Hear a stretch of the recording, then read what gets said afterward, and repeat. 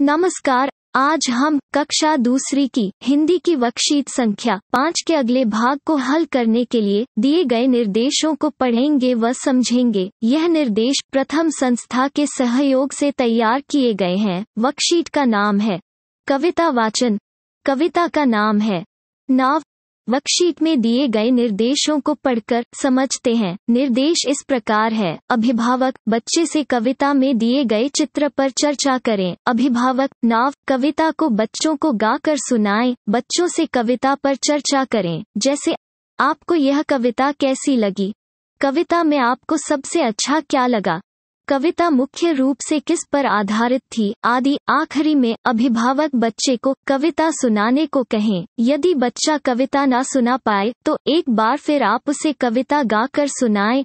उम्मीद है, अब आपको समझ आ गया होगा कि यह वर्कशीट कैसे हल करवानी है। अधिक जानकारी के लिए वीडियो या गेम के क्यूआर कोड को स्कैन करके सहायता ले सकते हैं। धन्यवाद।